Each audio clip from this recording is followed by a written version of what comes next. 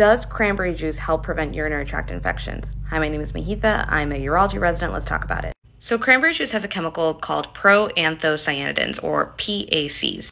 These molecules essentially prevent the bacteria from grabbing on to the lining of your bladder. This is good because the attachment of bacteria to your bladder wall is one of the first steps in setting off an infection. The studies that look at whether cranberry juice can affect your risk of UTIs have been mixed. And that's because studies aren't perfect. Sometimes people drop out of studies, and it's really hard to actually measure the concentration of PAC in various cranberry juices. But there was a recent study published in 2023 that looked at many studies and put it all together. This study right here is the latest update to this review. They had a total of 8,000 patients across 50 studies.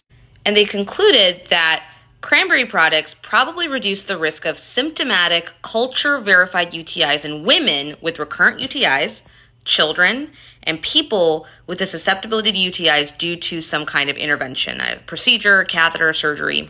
But it is also important to note that this pooled analysis showed no benefit in elderly people in nursing homes and hospitals, pregnant women, and people with some kind of neurological bladder dysfunction.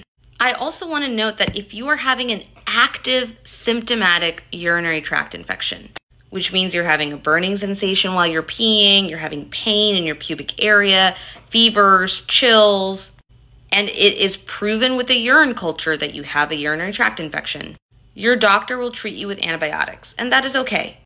There is no evidence that cranberry juice alone will help eradicate a urinary tract infection. If you don't use antibiotics, you could risk the infection becoming worse. However, the literature indicates that cranberry juice can be a reasonable method in some individuals to reduce the risk of having repeat urinary tract infections. Talk to your urologist about it. I hope this helps.